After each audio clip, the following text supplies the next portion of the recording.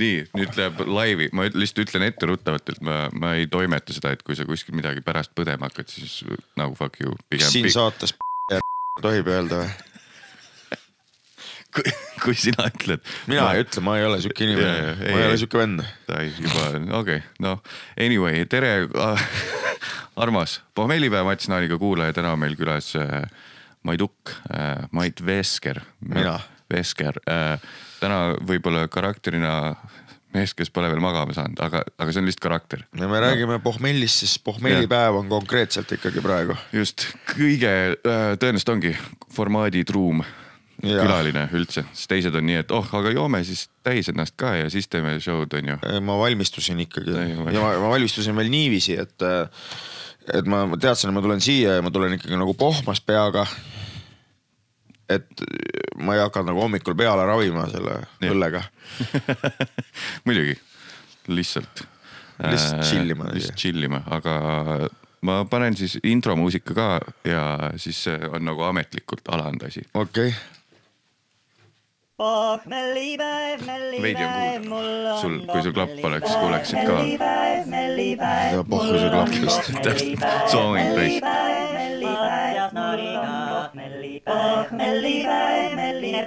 podcast pohmellipäev. mis sa siis tähistasid? räägi meile, mis elu sul, mis superstaari elu sul on olnud viimased kaks päeva? ma tegin oma noh, seni suurima seal Paulis ja Aa, aa jah, tähendab, sul on Maja kap, oli- kaped on sul või? mul on breketid. aa, ma mõtlesin, sa võtsid mingit kuivanud tupsu alt. ma võtsin ja ükskord Tartus tegin ka mingit open mic'i ja siis Sander Õigus ütles, tegi seda. ja siis Mait võttis kuivanud liha tüki enda hammu vahelt ma mõtlesin, mida sa ajad, et see on breketi kumm, et ja pani selle suu tagasi. ja ma nagu, mis asja, see oli breketi kumm noh. mul on kuradi väerambu, sa arvad, ma ise tahan seda, sa tuled siin kohe narrima noh. just ja kuulajale, kes on täiesti Maiduki kauge inimene, Maiduk siis äh, äh, sa vist ise ei taha öelda, et sul mingid stand-up show'd on, vaid äh, pulli show, ei. No ma olen nad stand-up comedy show'd, stand-up koomik Mai-, Maiduk on ja life coach ja mis iganes ja see Snooze Empire'i mees on siis Mai-, Mai-, Mait meil täna külas. siin ma olen jah ja see, mis, millest ta räägib, see suurim Paavlis niimoodi kahe sõnaga ütles, see on siis stand-up'i show oli nojah. või comedy show või kõik. ma panin igaks juhuks, et vaata stand-up'il on oma konventsionaalsed reeglid siin onju, et, et Harimati ei solvuks onju. Ja et Karl-Alari Varma ei solvuks. Eesti donnid ei solvuks. ja siis ma panin ikkagi nagu komedi, et, et, et, et stand-up'il on ikka oma värk onju, sa ei tule niimoodi raadiomikrofoniga stand-up'i tegema. sul on SM viiskümmend kaheksa ja kui sa tuled Jaa, beetaga, see range on nagu liiga lai. Et beetaga ära üldse tule. kile hääl, kilene hääl. ära üldse tule beetaga üldse siia seletamagi, tavaline viiskümmend kaheksa kaabliga, seda ei tee, siis ei ole stand-up, mis värk sellega on, et ja, ja kui jah, täpselt. Mis värk sellega, oh väga hea.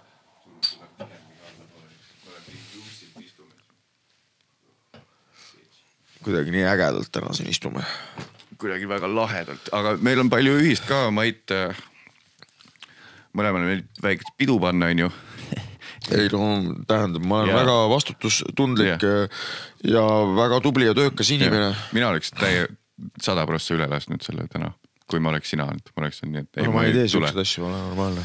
No panen proovile su millalgi mingi asjaga veel siis. pane jah. siis süstin reaalselt hero sulle perse ja siis ütlen, tule kahe tunni pärast. no ja- aga vaata ja, ja täna veel ma ei saa pappi ka sellest, et ma siin olen see näitab lihtsalt, kui hea vend ma olen. jah, täpselt, täpselt.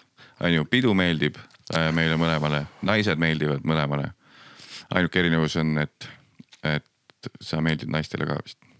ma, ega ma ise sellest aru ei saa, aga äkki, äkki jah. ja võta need prillid vahepeal eest ära, siis sa näeksid ka neid armastavaid pilke, mis sind vaatavad. ma näitan Eesti rahvale oma ausaid silmi või? ei ära näita, pole vaja neid poomasilmi. ma mõtlesin juba, kui ma selle sõnapaari ütlesin, siis sain aru, et see võib olla vale. silmad on ausad, seda ma luban, aga Ja, ja. mis mõttega päike paistab praegu? mina tean, millega mu mees tegeleb. ja, teeme selle igava osa, sa oled siis mingi, ma ei tea ma proovin siin mingit intervjuu saada No nii, tere.. tervist. kust sa siis pärit oled? ma olen pärit Keilast aadressilt eh, eh, endine Vasara tänav, praegune Mäe tänav Jah. see mägi on väga hädine mägi, mis seal on miskipärast, kas mäe kas see on see peatee tervisekeskuse poole see on peatee superstaari elu poole. aga see jah, see ei ole kaugel tervisekeskusest, kui nüüd äh, kas sul härra Nublu oli koolivend sul? jah, oli või? jah. aga see on siis, kui tuled Keilasse, pöörad Selveri juures sisse, siis pöörad paremale, siis seal, siis, siis, siis sõidad ja siis seal on mingi sellised, jõuad selle nagu poole peale sellel tänaval mm., siis vaatad, mingisugused autod on, mis kogu aeg putitamist vajavad Ja,, ja, uhkemad ja, sitemad, et need on Harri omad. et siis selle järgi tunned ära ja sõidad natuke edasi, siis jõuad nagu selle Davai, minu lapsepõlve kodu juurde. Meil oli vahepeal see Aivar Riisal oli peresõber või noh, ma saan aru, et on ka keelakas. keelakas on ju, ta oli, ta oli ühesõnaga mitte isegi peresõber, lihtsalt nagu papsi businessmees, kes ta või võib-olla üle lasi, aga võib-olla. Me ei tea, ma ei ole mõlemat osapoolt kuulnud, kuulanud on ju. mina olen kuulnud lihtsalt kilekottidest, mis on raha täis no see on kõigi, Mustal Kuul ka vist tõenäoliselt. no musta, Margus Turul oli see papp mustal kuueteistaastasele sa võidki nelisada krooni üheksakümnendatel anda ja see on nii suur raha nende jaoks. ja, ja, mis, palju selle eest oleks? no anyway, Riisalu elas seal, mis see on see, kus nüüd on? Maeru trahtri juures elas Riisalu, Maeru's elas. Maeru, aga kas see on seesama, mis on, nüüd on mingi seitse ringristmikku, vaata seal Keila väljaspool Keilat, see üks tänav, kus sa saad edasi Paldiskisse minna, vaata kui sa keerad üle. Mhm. on jah, on hästi ju, palju ja. seal on pikalt mingid justkui ridaelamulaadsed majad olid kunagi, kus nüüd Espaki taga või mingi sihuke. vajan sitta või? sa natukene jah, sul on on pakid valesti natukene, natukene lonkad, aga e- see ehitusmarket või ja Bauhof, mitte Espak jah, ja siis jah. sellisel juhul geoloogide tänav. Ja see tähendab ka seda muideks, et äh, noh, tead, vaata mingi vahe öeldi alkohoolikute kohta geoloog ja, ja ma ei ole selles mõttes küll nagu mingisugune eriline alkoholiekspert. aga no. kui mina vaatan seda nägu, mis Aivar Riisalu nagu peas on, siis äh, ma tunnen, et see alkoholimüügi keeluvärk on natukene nagu silmakirjalik tema poolt. äkki ta on, veidi noh, ajastab veidi paremini enda asju äh. Äh, Allika tänavat tead või? ainult Keila referentsid. ja, ja allika gäng ja värk ja. on või, päriselt, sest mu vanaema oli Allika tänaval lihtsalt, ma ainult seda tean, see terve teinud mingit. story on, et, et põhimõtteliselt venestamisega Karl Vaino ajal te- tehti siis Keila Terko, Terko teravilja kombinaat Jah, jah. ja siis äh, Allika tänavale toodi igasugust sellist kriminaalset ja madala haridusega satsi sisse mm.. ja siis ta on nagu nii-öelda suhteliselt kõige rotim koht Keilas ja, ja siis, ja siis mingi vahe on nagu allika nagu äh, gängiks siis nimetasid ennast mingisugused äh, tatikad, vaata, kellele meeldis pahandust teha. Nende törf oli allika mänguväljak. aa, davai. ja siis mul mingi suvalise nagu juhusliku inimesega rääkisin sellest kuskil mingi neli öösel uh. -huh. siis ta no, mingi- läks mingi Keila jutu peale, siis ütles ka, et, et ta käis suvel nagu maasikat korjamas koos Allika gängi rahvaga ja siis need Allika gängi tatid nagu ütlesid, et, et nemad on ajanud Allika tänava kinnisvara hinnad alla enda terroriga. aga kas need, kust need, tead sa, kust need mingid tatid pärit olid, kas need, mis majades, kas need olid paneelikates või selles silikaathoones, allikas ma ei oska niimoodi hinnata jah, aga need silikatoonid on muidugi ilusamad siin, siinkohal tervitused siis perekond Otsmannidele. oota, Erki Otsman või, või mingi teine. ei tunne siukest Taavit ja Laurit tean, aga Erki Otsmanni ei tea. Erki Ottmanni tean, aga see on teine vend. davai, davai. aga mis sind siis Keilast ära tõi? vanemad põhimõtteliselt äh, uh,. neljapäeval. sitane mundreis, täitsa putsis. ai, ai, ai, jääb, see on vesi ju, nii et. jah, see on vesi jah. ja õlu samal ajal. pohmellipäev äh,. selles suhtes, kuulsid, mul tuli see, selles minu arust see oli Selles natukene suhtes. Meelis Lao hääl tuli Aa, minu arust mul selles suhtes, et äh, olen seitse korda tahetud mind ära tappa Allika tänaval. ei, siiski mitte mm,. ühesõnaga, kusjuures äh, neljapäeval siis, kui siis tähistasime minu suurt äh, show võitu täis Jah. Packed saali võitu, siis äh, tuli jutuks Andres Teppo ja siis, kes oli siis, oot nüüd ma panen mööda, aga ta õppis mingisugust sellist nii-öelda kuidas sa ütled, ratsionaalse inimese asja, aga otsustas siis hoopis Keila muusikakooli direktoriks hakata endale hästi palju lapsi teha Jah. ja siis Andres Tepo ütles minu isale, et Keila ei ole Maidu jaoks. ja siis mu vanemad said aru, et, et kui ma nüüd nagu Keila algkoolis sinna vanasse gümnaasiumisse ka lähen, et siis see protsent, et ma pätistun, on nagu suurem ja siis nad arvasid, et neil on raha ja panid mind Rocca al Mare kooli hoopis. ehk siis Keilast ära tõi mind siis Nii. mu vanemad viimasel hetkel mind Rocca al Mare kooli panemas mm ja Andres Teppo siis nagu välja tuleb. tervitused siis Joosep Tepole, Joonas Tepole, Iida-Mai Tepole, Theodor Tepole ähm,. kes seal veel on siis? Meeta Tepole, Johannes Tepole, Jakob Tepole eh, ja siis eh, veel mingisugused Tepod, kes mul meelde ei tule mm., aga Eeva Tepot ma ei tervita, sest Eeva Tepo, kui mina olin muusikakoolis laisk, siis sa kogu aeg mölisesid minuga ja ütlesid, et minu käitumine jätab soovida. ja kui ma ütlesin, küsisid, et kas lugu on selge, ma ütlesin suht ja siis ma sain sinu käest riielda, seega sinule ma tervitusi ei saada okei okay., see on, sai. Okei okay,, tegelikult nüüd mul tulid see- süümekad tervitused ka Eeva Tepole, siis ükskord ta andis mulle õunamahla ja Napoleoni kooki, aga minu käitumine siiski jättis mm. soovida. kurat, ma praegu mõtlen õunamahli Napoli, Napoli pole nii hea kombo, üks on happeline, teine on siuke smooth. no ma siin üritasin lappida noh, selles mõttes. ikka, ikka ei, ei ära tervita, ta andis sulle nii halva kombo. see tahtis hea, ta oleks vett pidanud. Ikka see veega. oli selline karm, karm, aga õiglane õpetaja, mis see film oli, see Whiplash on ju. jah, jah, just. Aga no ei, ei olnud seal mingit Whiplashi, jäin solfis istuma ja kogu lugu noh. higi ei tilkunud taldrikute peale. mingit higi ei tilkunud, lihtsalt jaa. lasin üle. ma ei tulnud kohale, siis ei pettu ka. saad oma vaba, selle vaba ajaga midagi normaalset teha aga sa olid siis äh, äh, üksiklaps või? nagu oma peres või ei, ma olin pesamuna tegelikult, mul olid Okei. õed ja vennad ka ikka. tai, tai, tai, tai, aga bussiga hakkasid rokas käima Keilast või? Või- alguses oli mingi jutt, vaata, et, et, et isa viib iga hommiku.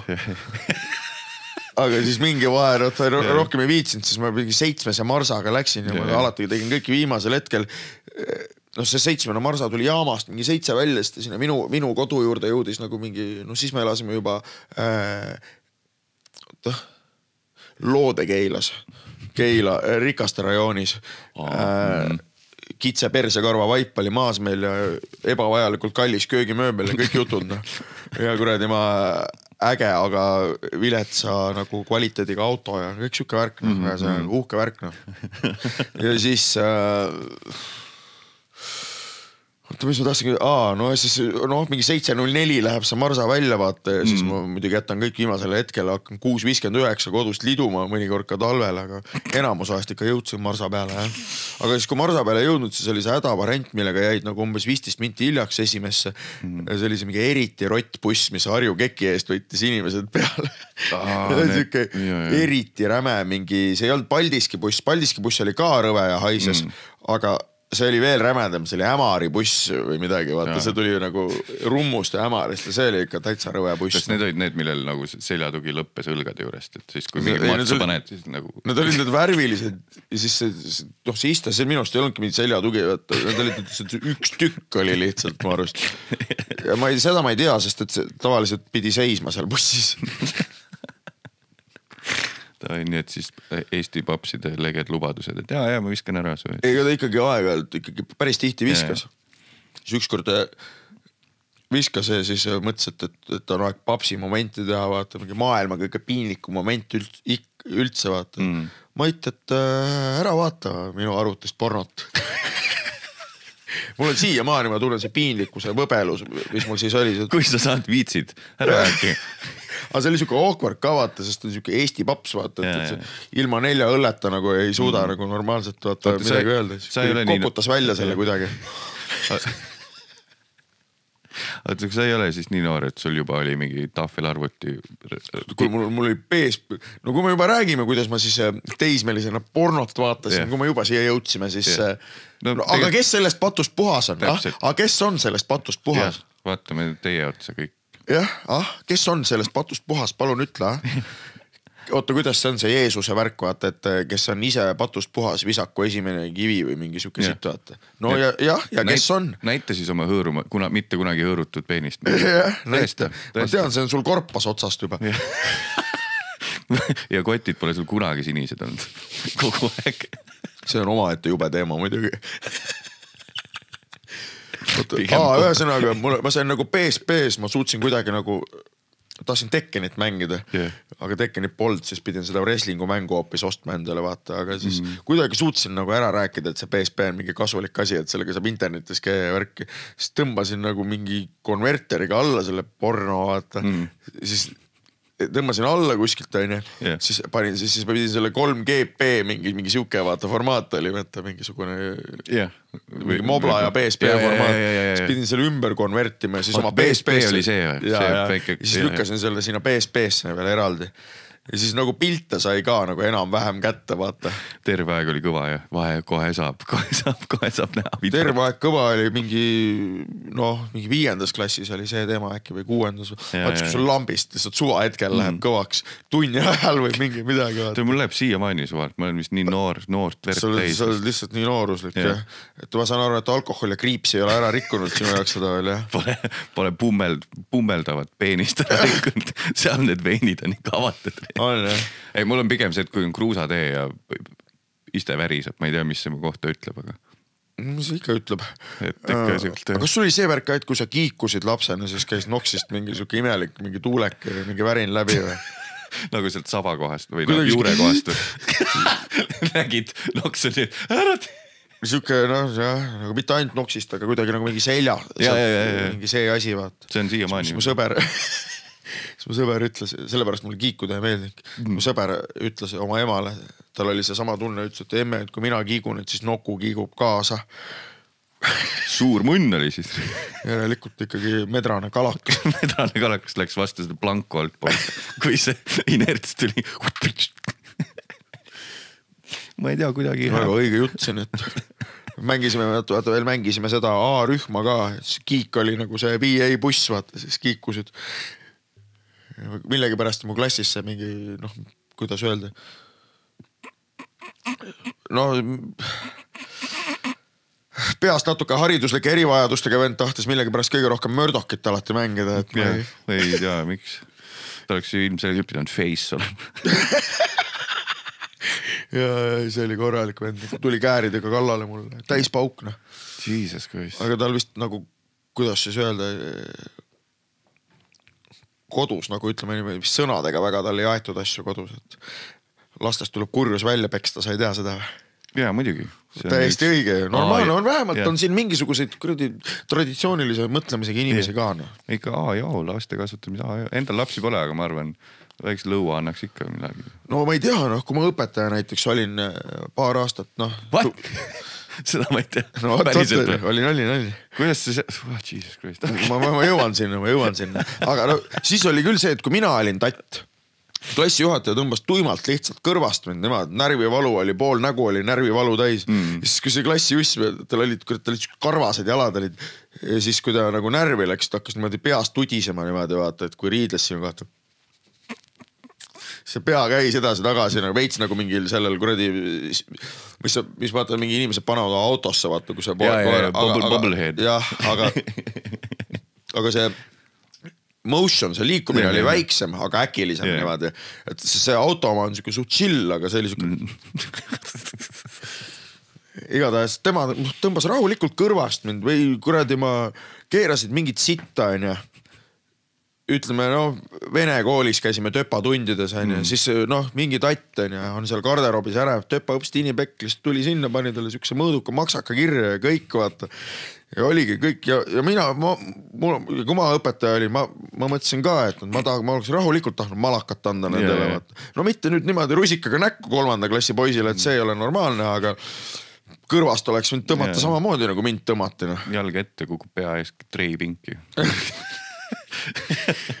no aga siis tuleb psühholoogilisi relvi kasutada, vaata öelda, et, et sa, sa oled värdjas. ma tean, miks sa niimoodi käitud, sa käitud sellepärast, et su isa läks su juurest minema, aga kuna sa oled sihuke värdjas, siis su isa ei tule su juurde tagasi niikuinii just kõigi ees. aga, aga, aga ma olen, ma olen empaatiavõimeline inimene, ma ei saa niimoodi teha teistele ju. oota, mis, mis ainet sa andsid? mul oli keeruline. Aga alustan otsast siis või? jah, alusta oma, oota, mis see sõna nüüd on, pedagoogik, retke lugu, alusta algusest peale. lugupeetud pedagoogika teekond Jah.. lugupeetud pedagoogi tee, teekond mm -hmm., okei okay,, nii. ma õpetasin siis Keila noortekeskuses äh, bassi tattidele.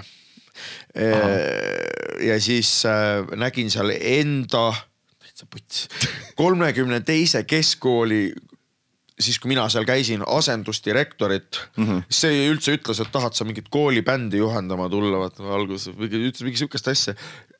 ma tervitasin, ma nägin näost ära, et ta ei tea, kes ma olen mm, siis ma tuletasin ennast meelde, siis kutsus mind mingit koolibändi juhendama.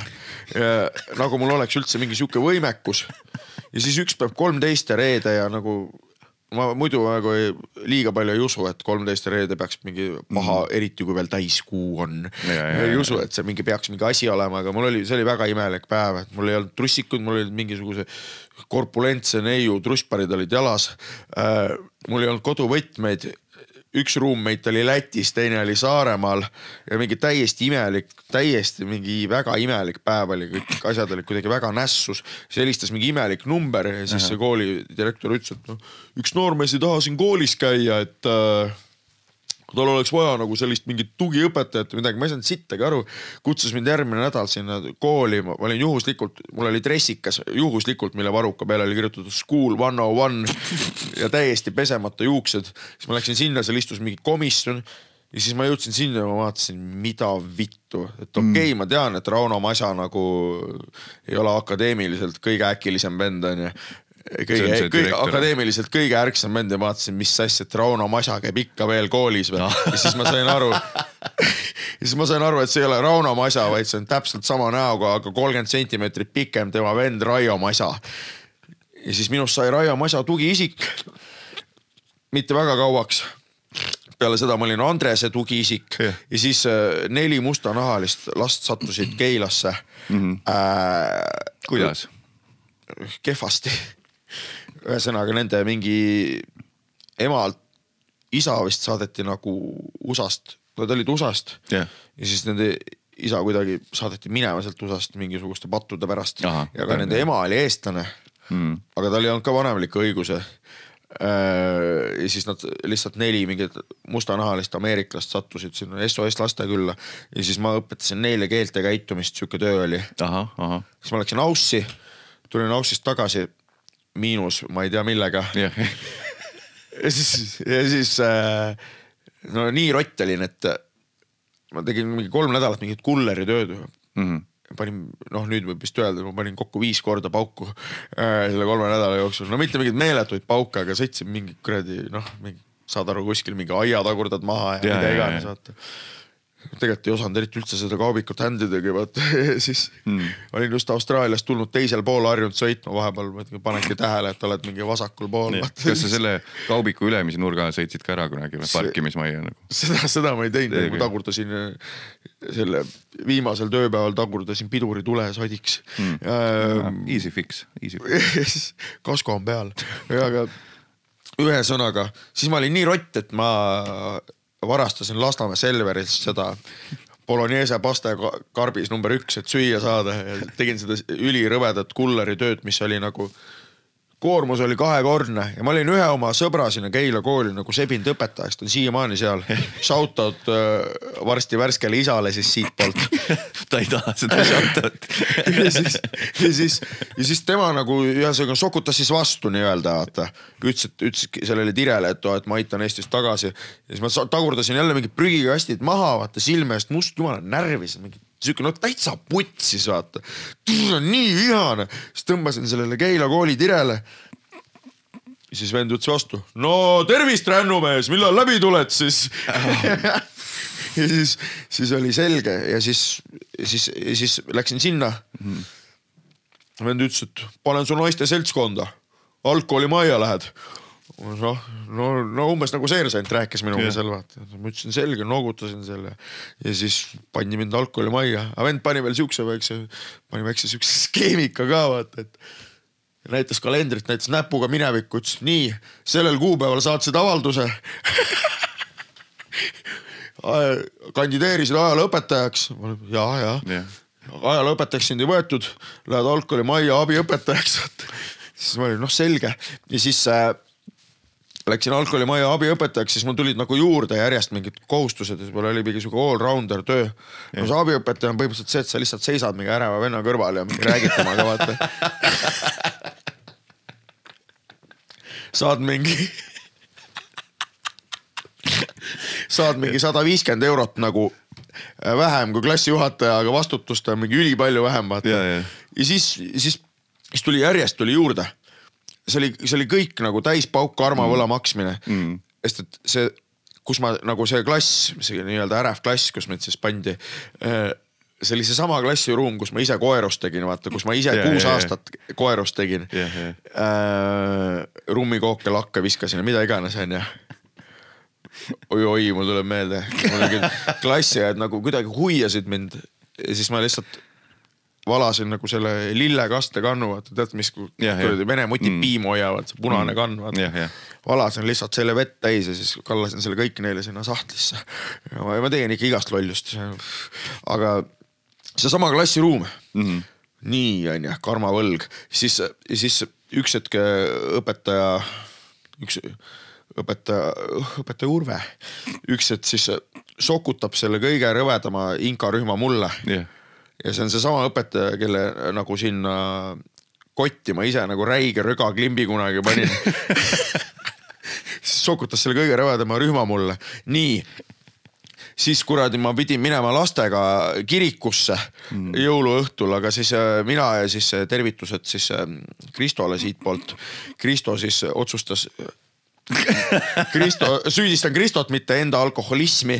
Kristo siis otsustas äratuse kinni lükata ja siis me jõime hommikul viina edasi ja ma ei läinud lastega kirikusse ja siis selle eest nagu see äh, õppealajuss, vaata noh pani mulle nagu põhimõtteliselt karistuse peale, pani mind pikapäevarühma val- valvama mm. nagu kolmapäeviti. ja see oli seesama pikapäevarühma nagu ruum, kus ma aknalauale kusesin, vaata.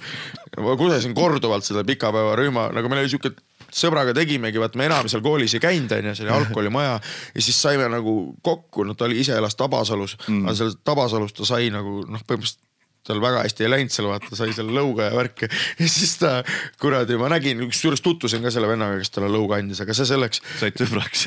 ja see oli väga hea vend ja siis äh, kuradi ma, siis me nagu saime jälle Keilas kokku, mina tulin Rocca al Marest, tema tuli Tabasalust, siis ikka mm. jälle kusesime selle kooli peale nagu söökla ventikasse ja kuradi ma aa, sinna ma mõtlen, aa väljaspoolt, ma mõtlesin nagu seest, klassis ei, sees. see ei, aken oli praakil vaata ja siis ma kusesin sinna aknalauale ja sellele aknale mitu korda ja siis seesama pikapäevarühma ruum vaata, mille peale ma korduvalt kusesin.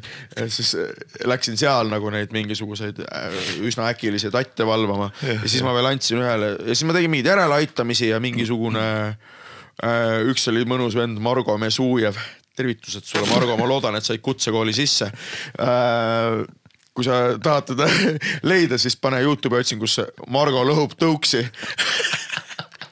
talle tegin mingisuguseid järeleaitamisi ja siis veel mingitele ja, ja siis ühele vennale andsin mingi hästi algelist logopeediat, värvisime seal kaashäälikud ja all rounder Jah, jah. aga direktor ütles, et ma olen oma, kuidas ta siis ütles, ütles, et ütles, et, et, et sa oled oma unustamatu karismaga siis äh, ma ei tea, muljet avaldanud või südamesse pugenud või mingi sellise mm. ilusa asja ütles mulle No. et teised õpetajad nagu kiitsid heaks. ja, ja siis lasi su lahti. ei, ei, ei, ei.. kuigi ma käisin paar korda ikkagi kadunud papsilõhnaga koolis küll, et paar korda juhtus küll äh,. täna vaatame filmi. ei lasknud lahti, ta pakkus mulle klassijuhataja kohta isegi ja värki, aga siis ma sain Töötukassast hoopis tasuta raha ja ma ei võtnud vastu seda. vot see on best. nii et äh, see on siis minu pedagoogi karjäär. Nice, mu paps seal rääki-, oli ka kuskil nõukaaegses tõka-tõkas mingisugune, ma ei tea, asendusõps või midagi, siis ta on terve elu rääkinud, rääkinud mingeid lugusid. aga noh, põhilugu, mis noh, igal papsil üks lugu, mis sa räägid kogu aeg ja siis oli ka see, et pohmakaga läheb klassi ette, istub maha ja endal rahhi pole ja siis laenab esimese rea nohikult paar rubla, et ma teen ühe õltsi nagu ja siis käib ära, vaadake, vaadake raamatut korra, käib ära nagu. mu isa oli ka geoõps seitsmeteistaastaselt ossa raisk, siis kuidagi juhtus tal niimoodi, aga siis ta ka nagu. no see oli ikka see aeg, kus sai ikka füüsiliselt karistada, siis ta ka ikka mingile äkilisele tati pani seal ukse taga, pani tal jaha, jala ette, lükkas, lükkas, lükkas sirulida kuskile. Ja see mingi selles mõttes, et no mingid traditsioonid võiks ikka olla noh. no.. täpselt kuskil. kas sa pole nägu ees radikasse kukkunud koolis? oi, oi, mul tuleb kohe, mul juba impulsist räägiks veel, noh, meil oli see õps ikkagi, no ta läks ka ikka, noh. ühesõnaga, no ma ei tea, kui detailidesse ma minna saan, jah, jah, jah. aga ühesõnaga juhtus ta elus mitte liiga hea asi jah, noh, see väga hästi ei mõjunud sellele õpsile ja siis ta kuradi, ma mäletan, ta tõmbas mul kuradi klassi ajal, tõmbas juustest, viskas vastu ust, vaata siuke laks käis, aga üks mu sõber pani molli ka talle. no ta läks kallale talle, Ja, ja, vaata ja, ja ja. see oli kuidagi, kuidagi naljakas, et see sõber on nagu ise mingi kaks meetrit ja pluss ja, ja jah. tüübi vend on mingi meeter seitsekümmend, aga mm. Aga neil on erinev isa ja tema isa siis käis nagu Tšernobõli koristamas vaata ja sai mingid imelikud hambad endale. siis millegipärast on nagu oma vennast mingi nelikümmend senti pikem ja ta oli juba minust mingisugune, ta oli juba kuuendas mingi meeter üheksakümmend kolm vaata ja siis ta nagu lihtsalt pani vastu sellele õpsile pani kuradi noh ma ei tea, kas ta nagu, nagu päris lõuga pani, aga ta pani ikka rusika püsti ja sättis ära ta ühesõnaga. niimoodi ülevalt alla. sättis ära ta ühesõnaga Ja, jah ja, ja. Et äh, no ega selles mõttes ega lapsed, lastest tuleb kurjus välja peksta, no ütleme ausalt, ütleme otse ära onju. ma olen, ma olen ikka näinud inimesi oma elus, kes, kellest on nagu proovitud kurjus välja peksta, aga seal on see jama on selles, et see on kuidagi alati pooleli jäänud, et see, see kurjus nagu ei lähe välja kusjuures peksmisega. jõuavad kodust ära põgeneda onju. et, et tegelikult võib-olla kallistusega saab hoopis nagu paremini lapsi kasvata, no need siis on siuksed. pehmod pärast. seda küll jah, selles suhtes, et kui vaata nõukaajal oli ju see teema, et nad panid imikuid õue nagu jah, et, et mingi, et keegi võtaks et, et saaks, et karastasid imikuid siis on mingi, no mingi pildid on vaata mm., siis on järjest mingi, mingi nelikümmend imikut on seal mm. mingi Siberis mingi miinus kahekümne kuue käes vaata. Ma No- mainisin ühte mingit doki treilerit praegu, siis seal on ka üks kaader, kus üks tüüp, kellel on mingi neli last vist, pesamuna mingisugune ühe-kaheaastane poeg. see teeb ka talisupluse koos perega ära. nagu niimoodi vaikselt noh, mõni käib basseinis, vot mõnusalt Kalev spa basseinis madalas osas nagu koos juhendajaga ulblib-lib ulbitamas oma last. lükkab jääkülma laukasse lihtsalt nagu tahad meheks noh, mõnus mõnus. tuleb jälle üks hea lugu meelde Jah. No et ma ütlesin, et mingi vahe mu vanemad arvasid, et neil on raha onju mm., siis ma käisin Rocca al Mare koolis ja Rocca al Mare kooli see äh, olümpiavõitja Jaak Uudmäe oli kehka õps nagu kõige noorematel tattidel onju hüppame siit üle kitse nüüd ja siis äh,, siis noh, Nõmmel käisime suusatamas ja siis mm. üks ma, siis üks tatt läks selle õpetaja juurde, vaata õpetaja Jaak, Jaak, Jaak, vaata meie käisime perega siin eelmine nädal siin basseinis ujumas. siis Jaak ütles, et ja et see on väga kena lugu küll, aga et äh, seda võid tüdrukutele rääkida, sellepärast et mind see üldse ei huvita. täpselt algusest peale kohe näitad, kuidas elama peab. ei ole mingit nussi. Millal koroonat põdesid viimati siis? ma olen antitester. antitester jah, ma ei viitsi mõelda siukse asja peale lihtsalt praegu. see on tuus, see on mingi, see on mingi selle noh, selle endise Comedy Estonia gängi äh, mingi läbiv joon on see, et kui ma ei testi, siis pole ju probleemi. ei ole muidugi ükskõik millega, aitsiga kah sama asi. Rubber free elu lõpuni, mõnus. ainult siis, kui hakkab nagu no, reaalselt lihas hakkab luu küljest lahti tulema, siis võib-olla tee testi, et äkki on AIDS. no siis, siis on jah, aga tänapäeval see vist, see on nagu tablettidega taandatavad ja. jah, aga mõtle, kui piinlik sul pead avalikus kohas võtma tabletti, mille peal on anti-AIDS. hästi suur, arvad, et seal ei ole mingisugune lahe ravimi nimi nagu mingi Mestuplexin või midagi või? I want to live more. mõtled, kas on üheksakümnendatel tehtud firma või on mingi lahe ravim, Mestuplex. vahtplasti müüb. Üheksakümnendate firmad X-iga, need on lemmikud mm. -hmm. Sunotex, Solpatex, Ratotex. OÜ Tentamen. ah,. Tamrex on ka ja Sunorex ja, ja, ja, ja Jesus. Ja need DJ nimed ka kõik ingliskeelsed sellel ajal. see on, mulle meeldib jah see Eesti DJ-de loomingulisus. DJ äh, Naan, jah, DJ Mattias Naan. DJ Vesker. DJ Tamm. DJ, DJ äh,, paneks naljakalt, DJ Mälupulk, DJ Poolik, DJ Spotify. DJ Üleminek, DJ Mikser. DJ Sync. DJ Vinyl Only, see on kindlalt nagu olemas kuskil. DJ Vinyl Only. kindlasti, kindlasti. mulle meeldivad need lemmikud on need, et sellel peol mängime ainult vaha pealt muusikat. Ah, uus, minu arust, minu arust, kas see mitte ei ole see mingi Peeter Ehala ka vaata, kui üritab sind seebitada oma plaadifirmasse, ütleb noh, kuradi noh, kuidas sul see plaadifirma siis praegu toimetab, no oleks minuga asja ajanud, oleks sul ammu need lood vahas olnud no. see on veider jah. tahate lihtsalt oma kontorisse seisma mingit viitesadat vinüüli kuul, kuul, uff. See on nagu, aga samas see on nagu pigem visiitkaart, mingi PR visiitkaart on vinüül vist nagu, kui saaks kuskil jumala okei hinnaga viiskümmend tükki teha, nii et sa ise miinusesse ei jää, vabalt nagu. vist tegelikult on niimoodi, et vinüüli, seal on mingi miinimumteema.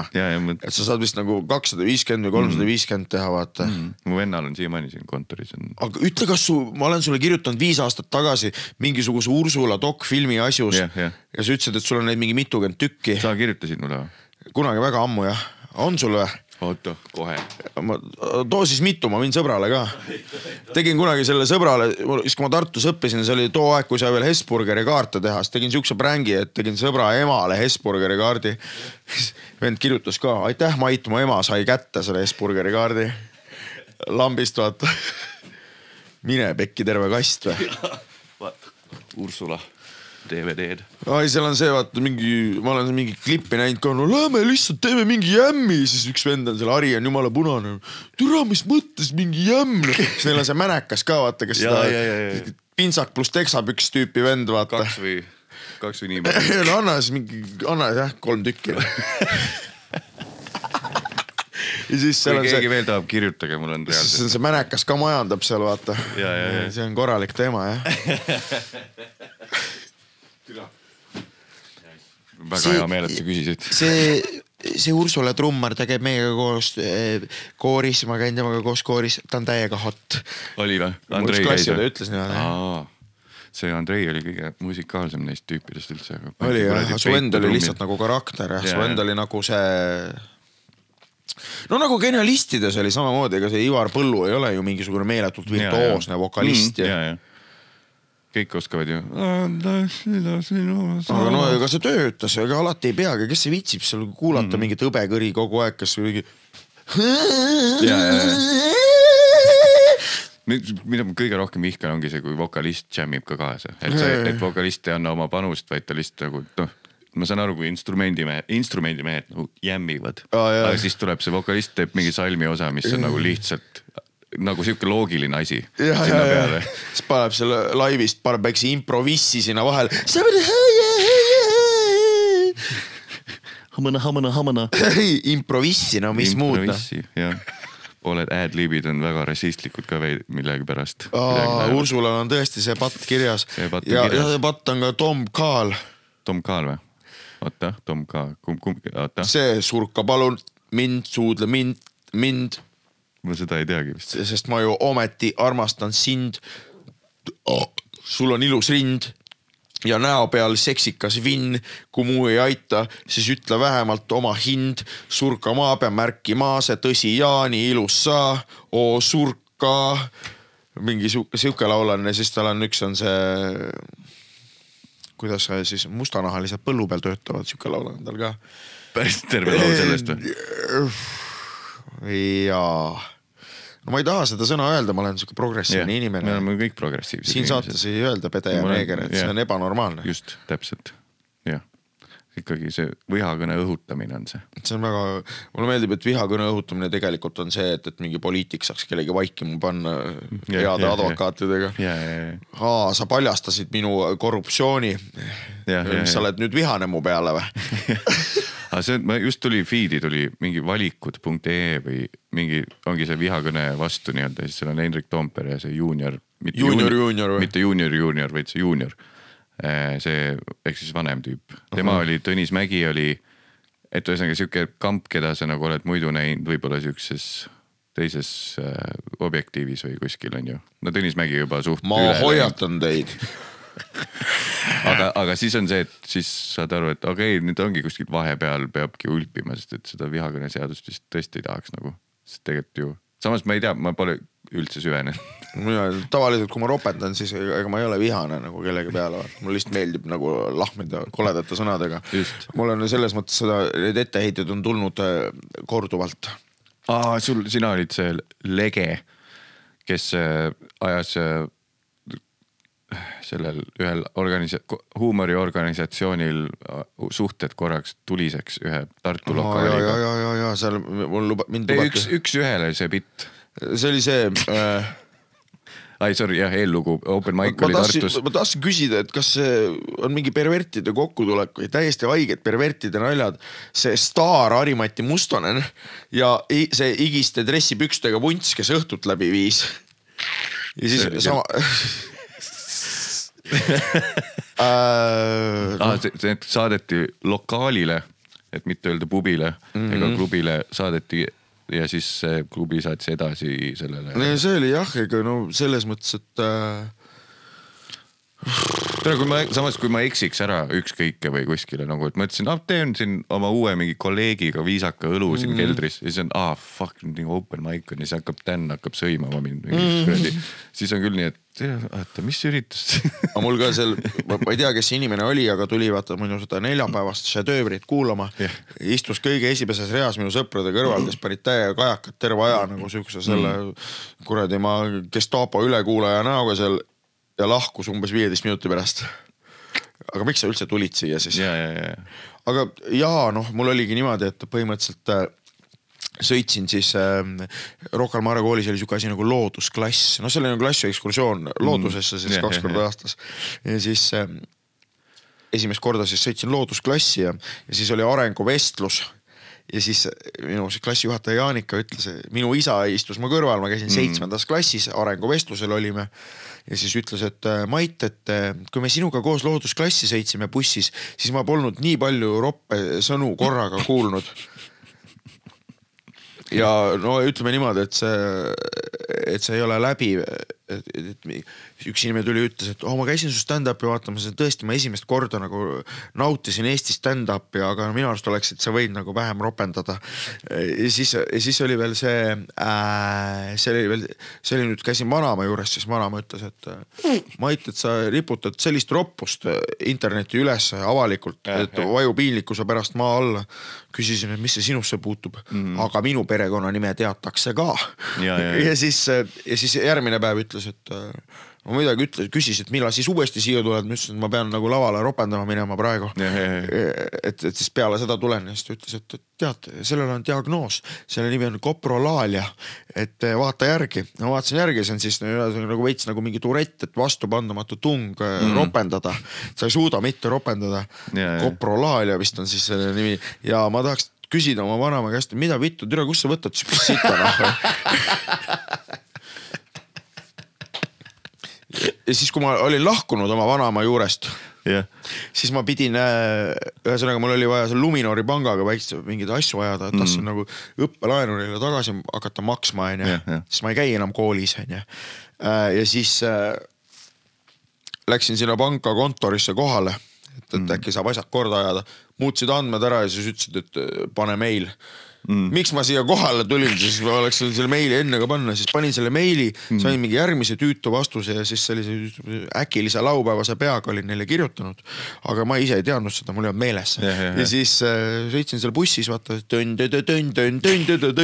et noh, mingid asjad joonde ajada, mingi siis see tädi ütles, et noh, kuidas teie nimi on või kuidas teie meil on, ütlesin oma meili ja siis ja siis tuli see tönn, siis ütles, et jaa, hallo, me leidsime nüüd teie meili ülesse mm. ja te olete meile tõepoolest ja te olete isegi vastanud ja meie meilile teil tuli äärmiselt ebatsensuurne vastus mul natuke oli häbi, meeles polnud, vaatasin, vaatasin, mis ma siis kirjutanud olin sinna, olin siis kirjutanud lakooniliselt ja lihtsalt. türa, te olete nii vittus tüütu pank ja kõik jah. jah sul seda, sul on allkiri ka see ilus mingi Mait Vesker. mul on see.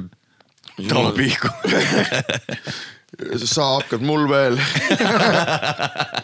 aga mina ei ole seda kirja kirjutanud, Luminor Pank, et yeah. keegi on sisse häkkinud, lihtsalt mingid kiuslikud inimesed. ja aga kui nad on nii pettunud, et nad ei taha enam õppelaenu tagasi, siis by all means nagu no, solvu, solvuge. ära siis võta noh, küll tahan. raha, raha vedeleb maas, eks ole, intressiga koos ja siis sina ei taha, no siis. ega mul on see paigutada küll kuhugi noh aga tead, ma ise nii vihkan neid kuradi täiskasvanud inimesi, kes ei kannata ropendamist nagu no,. mind nagu on... reaalselt, mul ei jõua kohale, mul on mingid nagu noh, mitte otseselt pereliikmed, no EMS ikka vahel murega ütleb, et noh, et kas noh, äkki saab mingi veidi viisakamalt, oleks nagu tore proovida mm. -hmm aga kui mingid inimesed lihtsalt ei tore, aga need kuradi roppusi oli veidi palju või allapoole vööd huumorit, ma olen nagu igas kuradi podcast'is seda rääkinud. see nagu nii ajab, sest ma lihtsalt olen, kes kuradi kasva suureks või nagu, mis see, sul, sul oli ebamugav olla, et ropp sõna oli või? ma saan aru, kui sa oled mingi, ma ei tea, nõunik oleksid mulle või ma ja, elan mingis teises tööstuses olen ja sa oled nõunik, siis äkki ei pane sinna türa sinna lõppu. Ei, see on jah, see on see mingi okei okay,, sorry, no mul tõesti läks natuke ropuks, ma püüan ikkagi oma naljadega nüüd kõigile meeldida, et tead seda tunnet, vaata, kui sa võtad nagu selle piimapaki, võtad nagu äh, külmkapist välja ja sa valad ja siis sa näed, et see piim on nagu riknenud, noh tükkis, noh tead seda tunnet või? täitsa halb tunne ju tegelikult. jah, nii, mis mul veel on? no äh. teinekord, kui trammis sõitsin, siis Cool, aga vähemalt polnud ropp vahelduseks midagi. ei olnud ropp jah, aga ma ikkagi tahtsin ära mainida selle venna, kes tugevalt äh, kummiliimi järgi haises see oli siis Kopli tramm. Kopli tramm äh, kas sa, mis skoori sa oma põhikoolile annaksid? Rocca al Mare koolile või? ma just käisin eile, sain oma Rocca al Mare klassikaaslastega kokku. pärast show'd läksid laiama jah? ei, see oli siis reedel tegelikult. aa, tõi, tõi. et, et äh, sain kokku, no põhimõtteliselt on siis mitte ühelgi poisil pole last ja kõikidel tüdrukutel on lapsed peaaegu. Äh, ehk siis nüüd pärast seda meeldivat kogemust ma ikkagi tahaks öelda, et täitsa hästi oli yeah aga see Guido Maximus oli natukene nagu, natuke nagu tugev minu jaoks, et ma olen ikkagi õlikas onju. ma ei saa mitte ka aru, mis see tähendab. Guido Maximus, noh, see on see Guidod ühesõnaga see, siis tollel ajal oli eriti äge, kui sa panid nagu pool püksisäärt tagantpoolt äh, sokki vaata ja aha, väike, väike keel ja noh, saad aru küll, Kiit Kudi ja kõik see. aa, okei, okei, okei, ah jesus Äh, põhikoolile, no kuradi.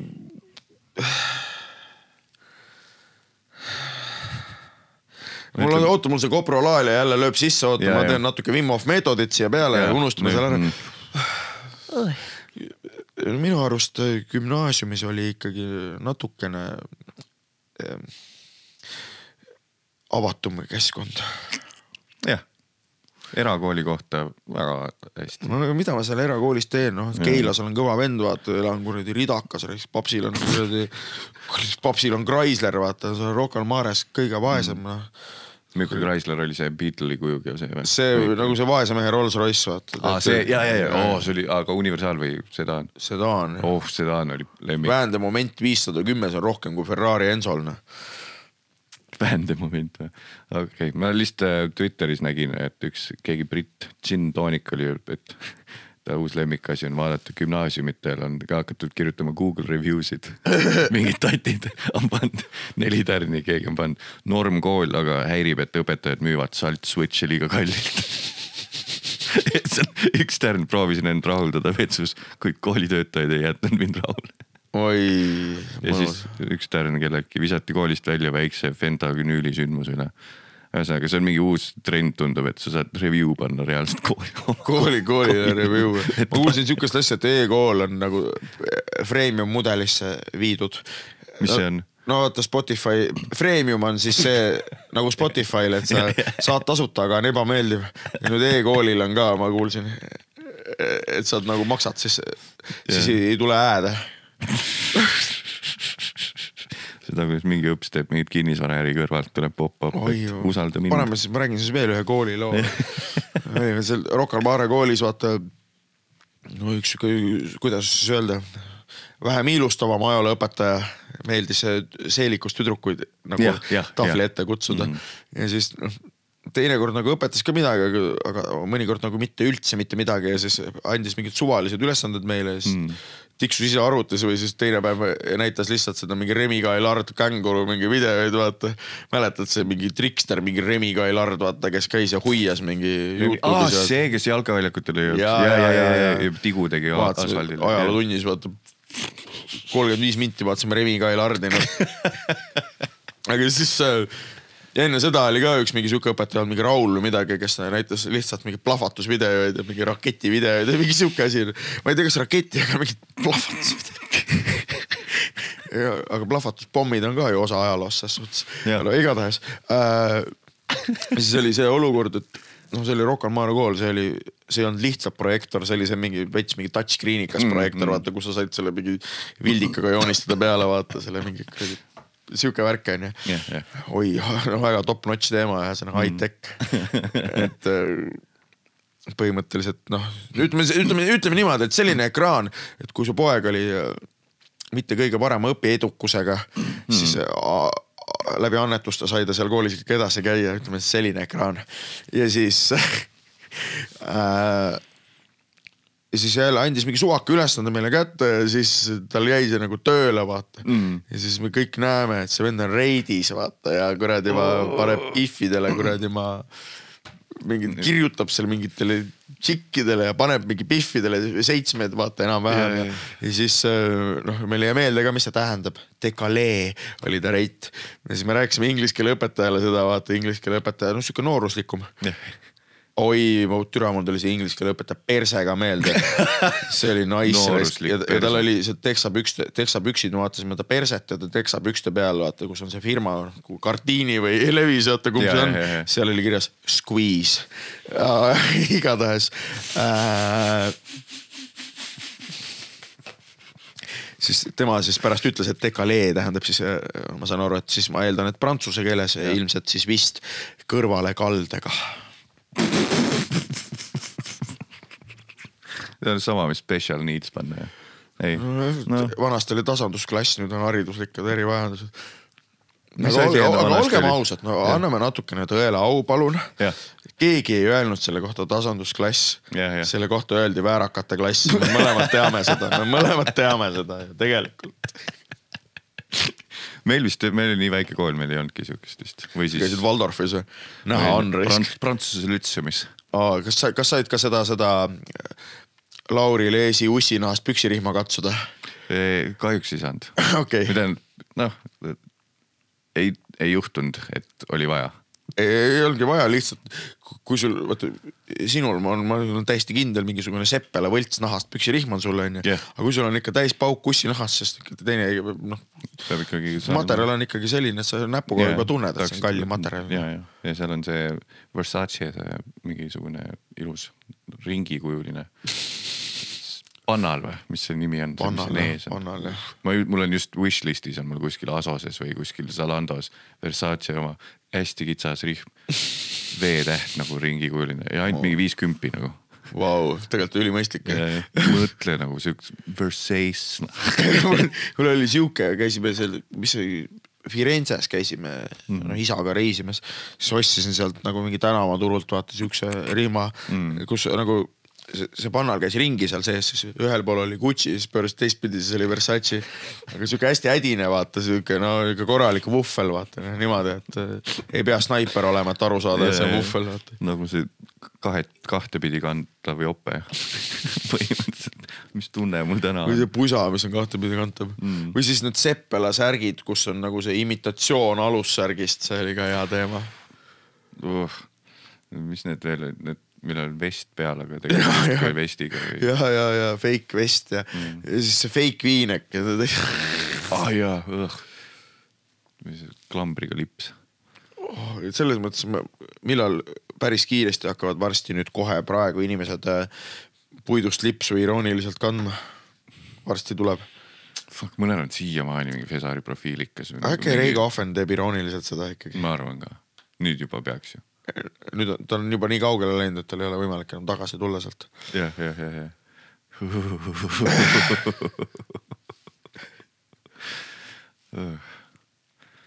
mõtlen, mis mul veel on, mis ma veel näitasin, leidsin mõnusalt Zalandost midagi ah,. Kristel, Kristel näitas aga kus sa üldse shoppad oma asju, kus sa niisuguse Volvo vesti näiteks saad? selle ma ostsin Samaria poest Hiiumaalt. sama, mingi kaltsukese, nice. mina, noh, praegu vaatame, mis mul siin seljas on Mm. vaatame, teeme, määran kõik järjest ära, siis ainukesed asjad, mis ma, ma ei ole mitte midagi ostnud, mis mul seljas on Mm. Need äh, saapad ma panin oma isalt turki. Need sokid mu isa tõi mulle. Need püksid tõi mu eksi ema selle pusa ma sain äh, Sanel Mittalilt. särk, mis on all, mul on see psüü, mul on psüü spirituaalne Aa, see- kolmanda silma särk. Selle ma sain sõbralt Siimult ja need trussparid ma varastasin Primarkist. ehk siis ma ei ole mitte midagi praegu ostnud ja need prillid ma leidsin prügikasti pealt Tartust. ehk siis, aa, no need, see bokser või? ja tähendab, ma vabandust, et ma niimoodi ütlen, aga ma olen kuulnud, et sõjaväes öeldakse soojapesu kohta pedekad. et, et, et, et ainuke asi, mis ma tegelikult ostnud olen, on need pedekad, mis mul all on. aa, sul on lisaks veel, aa no muidugi see on kuradi üks, üks See kiht puuvilla praegu. ma ei tea, kuidas sulle tundub, aga minu arust on praegu sihuke ilm, et nagu valus on näol. ja, ja, ja, kui sa ikka Wim Hofi ei tee, muidugi kuradi lõdised õues, noh. teeks külm dušš päevas. ma teen Best Contact'i boksi Stroomi rannas iga päev.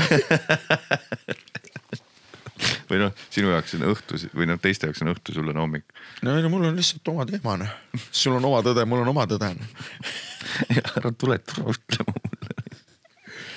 kes sa oled sina, et teisele öelda ah?, jah, täpselt. kes patust puhas on? aga see on äh, hea, hea kuulda, et sul on nagu lõputult mingeid koolilugusid, sest ma olin nagu nii kuradi vinks-vonks poiss. et äh, mul on lihtsalt mingid kaks lugu, mis mul meeles on, sest et ma reaalselt sain korraks pragada ja see on elu lõpuni nagu mul kolmkümmend kuus ja vahel tuleb ikka meelde nagu. mäletad see kord, kui ma läksin Viltuse koolimütsiga, Viltuse, Viltuse teks, tekli ja bulldog'i T-särgiga esimesel septembril kohe õppealajuhataja kõrvale, mis asi see on, meil on prantsuse lütsam, see on dokument, mis sul peas on nojah, et äh, kuidas nüüd öelda, see on kindlasti omad armid jätnud, aga no võib-olla jah. ei no kuidas, kust sa seda võtad? aga, aga on minust ka vorminud, ma arvan, tubli ja värvika inimese Mhm, äh,.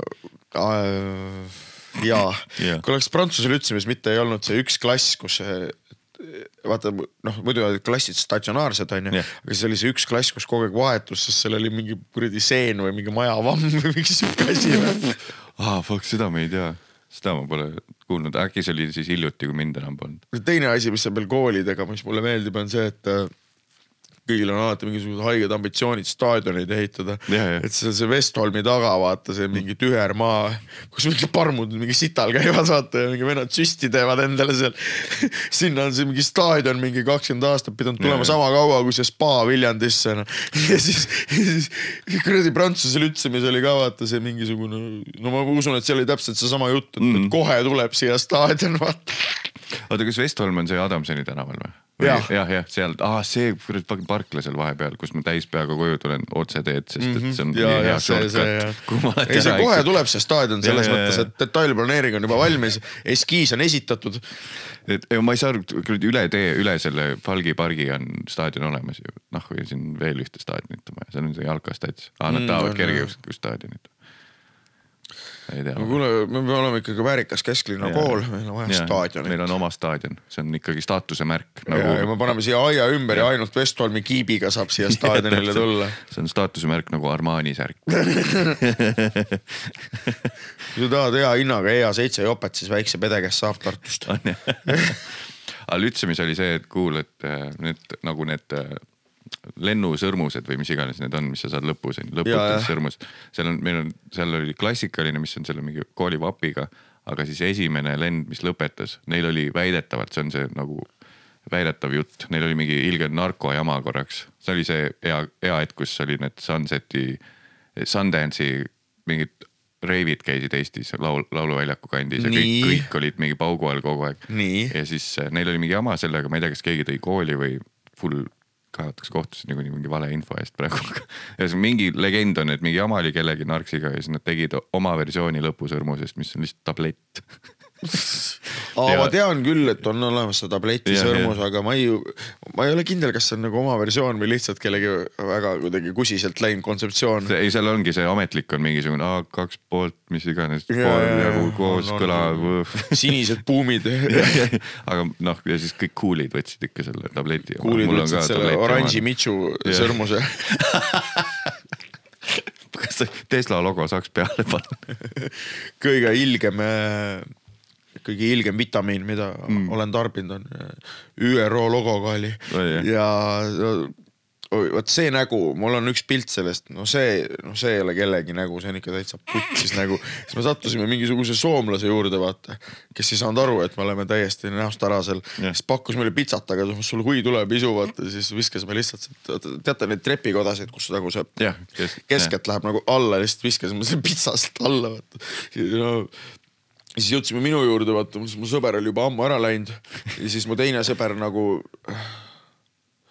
ma panen siis praegu, ma panen siis, panen siis või- võlts nime ja ma panen siukse nime, et see ei oleks kuidagi seostatav Jah. ja siis ma panen Kornelius onju. Jah, ja siis Kornelius., siis, ja siis mu sõber vaata oli üle meelikuks läinud sellest ÜRO vitamiinist ja siis äh, oli minukal vaata ja siis läks, tõmbas nagu kardina akna eest ära ja siis ütles, noh Kornelius, kuule.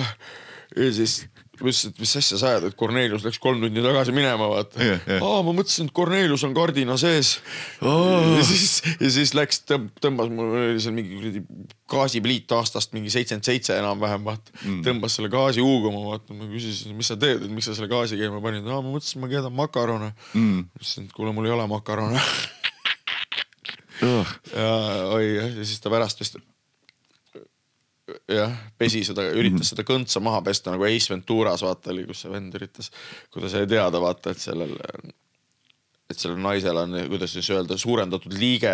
Ah, samamoodi üritas seda kõntsa maha pesta aga patuse näoga kodus. et äh, ei, ÜRO värki ei soovita näha. kui sa siuksele FTK-le oled ka eksinud ära, et on, kus on reaalselt aknad on prügikotiga kinni teibitud juba ette nagu kuule ei ole. nii madal, et mul ka vist ka ei ole, ma olen mingeid õudukaid sõpradelt kuulnud, et lähed sisse sa oled mida fucking vittu nagu. mu lemmik on see. narko Alžeimer on lemmikteema, kus Aa, sa, kus vendadel tekib see sekundi mälu, vaata. ühe po-, kuule, ma andsin teile juba või? teeme siis veel ühe. What the fuck? saad vaikselt aru, miks vanglas täkkeid tehakse mingid päevade mööda, narksi peal võiks sama olla no.. ei, tegid kohe teed täkke ka. kuidagi klikkerisse paned. ja, ja väike sammulugeja, üks samm. klikkeris on lõpuks mingi seitsesada on seal klikkeris sees. What the fuck, kes? oled sa kindel, me klikkisime õigesti või?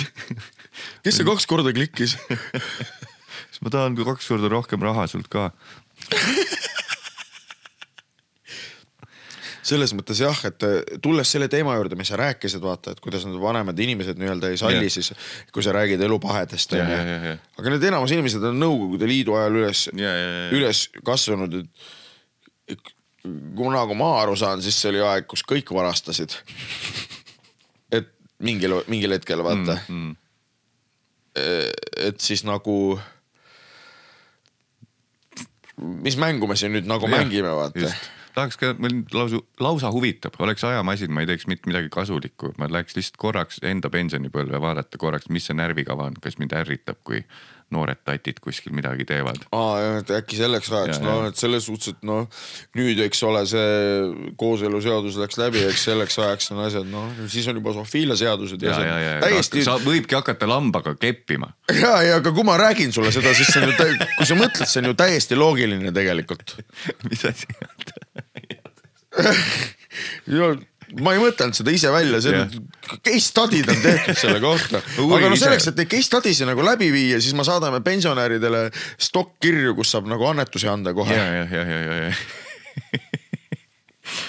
ei lihtsalt veidi on see kahtlus, et mis tulevik toob, sest ma näen mingite, vaata sa oled mingi kuradi kursakaaslas või klassikaaslasega kokku kogemata ja siis näed ära, et juba vindunud, juba on läinud penskariks ära nagu mingi sitt tuju pettunud maailmas, kõik häirib, kõik on sitasti, siis mõtled what the fuck, mis elu sa, kus sa käisid? kuule, lapsed on eluõied onju. ei, see on jah, nagu selles mõttes. ja oled sa näinud sita tujuga inimest, kellel ei ole lapsi või? Never. jaa, never. eriti selles pimeduses, et kõigil on tuju nii laes. kogu aeg. Yeah.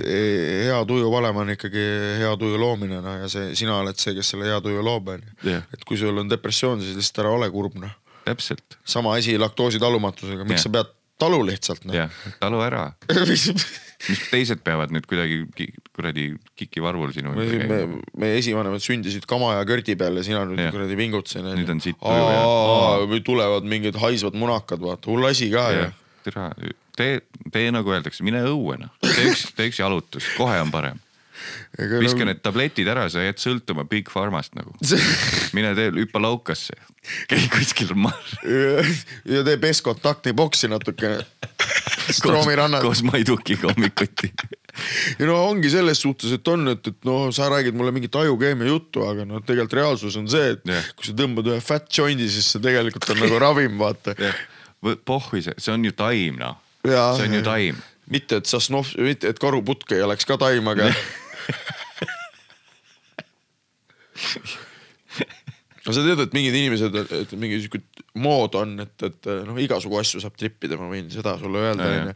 aga siis nagu mingi praegu on nüüd uuesti siis nagu see kärbseseene värk on moodi läinud kuivatatakse kärbseseeni ja siis. No ühesõnaga mingi mõnus sihuke mürgivärk. ma tahaks tunda, mis kõhulahtisus sealt tuleb või mingi kettimisfaas. kas seal on ka teie tead? Ayahuascaga ka ja. aga vaata, ma sain nägijaks peale seda. tegid? ei, ma ma ei julge siukest asju ma ka ei julge, ma liiga, liiga sõbraks ei taha saada endaga. ei taha jah, lõpuks tõmbadki ära mingi täiesti mingi mantra vennaks. ei, see on nagu. tõmbad iga päev spirit molekuli DMT-d. mul on see kartus ka, et mul tõenäoliselt nagu need, need asjad, mida on nagu sihuke tervislik isegi teha võib-olla mm. -hmm. no ayahuasca kohta öeldakse, et noh, tee ära ja siis saad mingi paar asjadest lahti. mul on tunne, et kuna mul on ikkagi noh, juua ma ei oska, nii et ma võtan ühe õlu ja siis on kõik ja lähme laiali. ma arvan, et ayahuascaga samamoodi, kuule anna veel, mul hakkab maha tulema. Oota, mul oleks- mul oleks vaja korra ma pikendan oma Airbnb-d siin majas praegu kaks nädalat veel, et anna mulle veidi veel.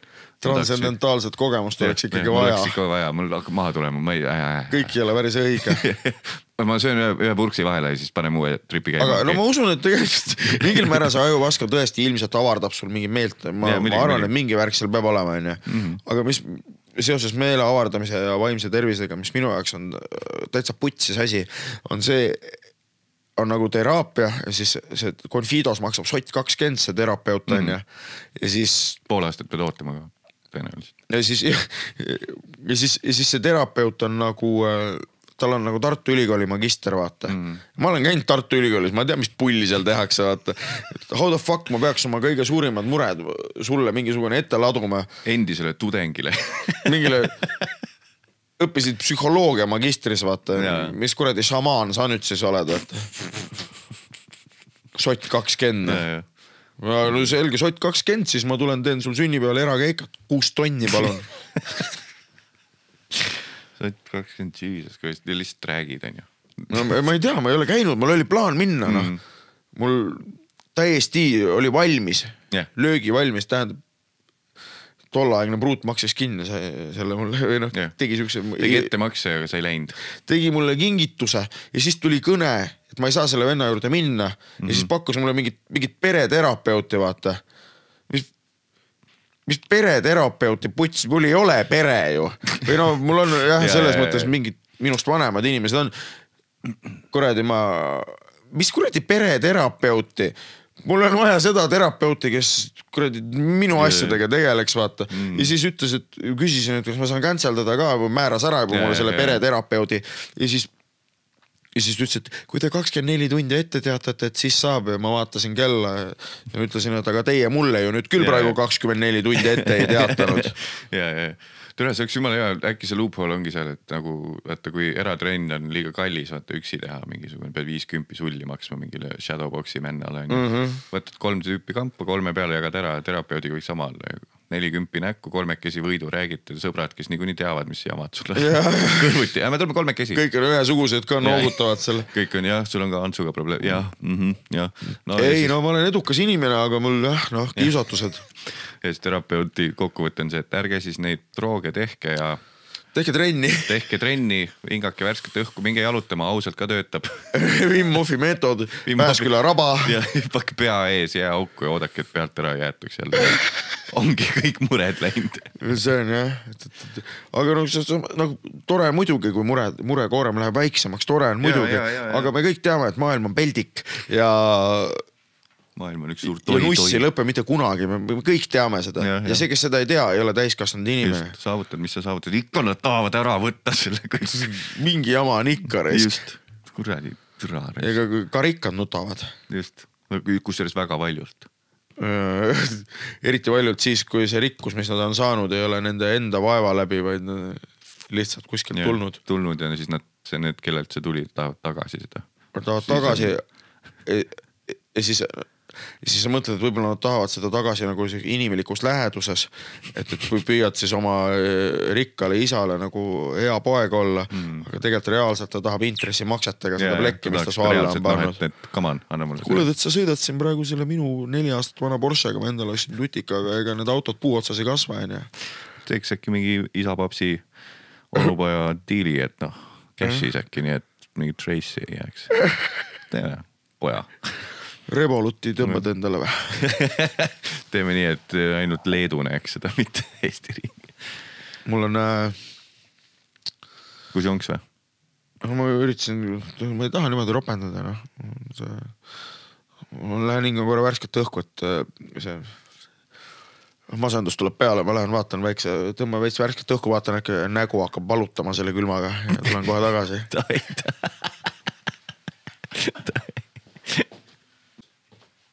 kas sa, sa tead, mis on Tekkenis seda Huarangi tead või? Huarangi või? ja vaata, mul, ma olen Huarang selle prilli ja selle soenguga, aga Huarang. ma nii kõrgelt jalaga näkku ei oska panna. Huarang, oh väga hea, paned klapiga, ma tahtsingi sulle just lasta ühte asja. Äh, ma sisu sellel, mis ma lasen, ma ei ole kordagi suutnud suutnud kuulata, mis ta reaalselt räägib, aga üks podcast on äh, homika.ee-s ja mingi no ühesõnaga mingisugune vaimse tervise mingi asi. aga siin on ka raadiomikker, mida Maiduk armastab laval kasutada, tuleb välja. no täiesti rõve vend ikka raadiomikriga, täiesti nilbe, värdjas inimene. välja sihuke naine on ju Nii. ja raadiomikker ühendatud, mingi tüüp on talle üles pannud podcast'i seti ja nüüd kuula seda tegemata tööd, mis on mingil helidisaineril siin olnud. nii Sedona meetod on unikaalne, fenomenaalne tehnoloogia, mis on avastatud erakordselt intelligentse Ameerika füüsiku Lester Levensoni poolt. Sedona meetod on metoodika, mis annab võimaluse vabaneda ärevusest, hirmust, kurbusest, vihast, läbipõlemisohust, apaatiast ta nii vaikselt räägib. millisest emotsionaalsest tal on see mõnus poolseksikas esoteerika hääl ka. selle valu avastab. ehk tegemist on välkmeetodiga. välkmeetodiga. Sedona meetod keerab pea peale inimese sellise arusaamise elust, et emotsionaalne valu ongi normaalne eluosa. ja inimesed, kes selle kasutusele võtavad, hakkavad kirjeldama seda tihti ümbersünnina, sest hakkavad avanema täiesti teised võimaluste väljad võimaluste välja. liitumine aastaringselt registreeri juba täna, see on mingi teine jaanuar, noh aasta tagasi me oleme save inud ära mingid asjad. mul on, oota midagi ma mõtlesin siin, aa, kes siis sinu lemmik stand-up koomik on? mul ei ole, mul ei olegi lemmikut vist mul, okei, no ma vaatasin seda Joe Rogani oma uh,. siis seda ei viitsi üldse. ja siis ta rääkis seal mingi umbes, kuidas ta mingi pilves peaga delfiine vaatas, vaata ja mingi neljakümne aastane vend räägib mingi seda juttu, mis mingi kuueteistaastane vend tuleb oh sul kammib ka vä. no mis sellist juttu vaata ja ma mõtlen, et what the fuck, et täna sul on nii suur jälgijaskond mm., sa oled nagu põhimõtteliselt ikkagi väga kõva vend. ja siis see on parim, mille peale sa tuled või? oota, millist sa vaatasid, kus tal on kangol tagurpidi peas või? selles kollases T-särgis. Pole võimatu, ei mäleta. sest ma ei tea, ma ei, ma ei tea, ma ei, üldiselt kaks tüüpi ongi Rogan ja Tim Dillon, kes podcast'is on okeid, aga, aga ma nagu setti ei viitsi üldse kuulata. no kõiges ei saa ka hea olla. Et mõnel on see, et teedki disservice endale, noh kuigi Ari ütleb selle peale, et Rogan müüb areenasi välja, millest sa räägid nagu, et noh, et aga lihtsalt mulle isiklikult mind ei tõmba see, aga tüüp nagu noh, hitt. see, et ta on hea müügimees, ei tähenda, et ta oleks hea kuradi ma see stand-up'i mees, noh. kaks valget meest panevad Roganile puitu. Eesti wannabe koomikut. tead, see Rogan. Rogan, ma olen natuke kõvem vend ikka. aga ei päriselt pask stand-up oli, noh seda ma mõtlesin, tahtsin öelda. Äh, millal sul veel tuleb mingit värki, on sul juba? ei tea jah, praegu on, praegu on pigem see tähistamise moment, ma praegu väga ei mõtle sellele. ei ma, ei ma kavatsen selle muutuv mehega nagu käia ära võib-olla praegu ma ütlen mm. need kohad, potentsiaalsed kohad ja, jah. ja need kõik ei pruugi, ei pruugi ja seal olla need lo lokaali ülemused saavad juba Maidukile ise kirjutada. ja no põhimõtteliselt äh, mul on plaan siis ikkagi teha Rakvere, Viljandid mm, -hmm. Tartu, Pärnu, Haapsalu ja Keila võib-olla Keila. kindlalt ju. oota, Keilas on see kultuurimaja on ju, kas seal ei ole mingit kuulimat saali ei ole? ma ei taha seda mingi vanaema saali, noh. ja, ja, ei mõtlengi, aga seal on see Alibi istud kunagi. seal nagu mingi kuradi aknas, vaata see. aga Alibi ei ole enam. Alibi ei ole enam tema Keilas jah, aga selle asemel on nüüd Põdrakas. Seal on mingi suur saal, aga ma mõtlesin, ma teeks seal Gnoomis nagu peosaalis. kus see on? no see on see mingi legendaarne Keila see, mis läheb. Rõõmust edasi või? ei, see on sealsamas, kus on see Alibi kunagi oli. davai, davai, davai, davai. Põdrakas on see, seal lähedal on jah, või. Põdrus, Põdrus. nagu Keilas öeldakse. mu ema tegi seal oma juubeli kuskil teisel pool raudteed, lähed suhteliselt eri majadest välja, seal on mingi bakery ka vist üleval. On, jah? aa, oli jah, Usina see mm., mm -hmm, seal on mingi saal, pane sinna toolid, no samas sellel on ka see kultuurimaja vibe. ja mul on, kui ma taha, kui ma teeks Keilas, sest niikuinii enamus keilakad tulevad Tallinnasse, aga Jaa. aga kui ma teeks, ma tahaks mingit eriti kitši asja teha mm.. sellepärast ma mõtlengi, et gnoom, et ma nagu see kultuurimaja, mulle nagu, mulle ei meeldi see teatrisaali värk eriti, sest vaata ma ei, mm. -hmm. ise, kuidas öelda, noh, et esmaspäeval ma saan ilma õlleta ka magama jääda, aga ma olen ikkagi sihuke noh, napsi ja naljamees ja, onju ja, ja sinna tuleb väga viisakalt. et, et mulle nagu, kuidas ma saan oma publikule niimoodi teha, et nad ei saa õlli samal ajal juua. tõsi. Sellepärast ei taha nagu teatrisaali värki nagu teha. ma jäin korra Gnoomi pilte vaatama, kõik on ainult saiakestest, näita mulle seda ruumi.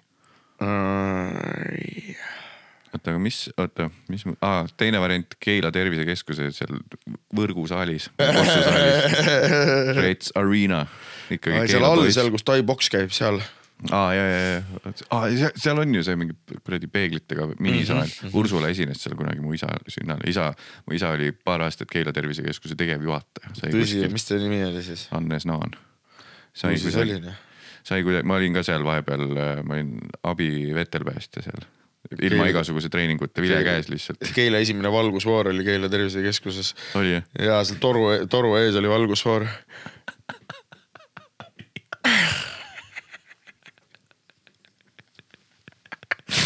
tere, just seal oligi kõige, ainuke töö, mis mul oli, oli fucking tattidele, mitte Eesti tattidele.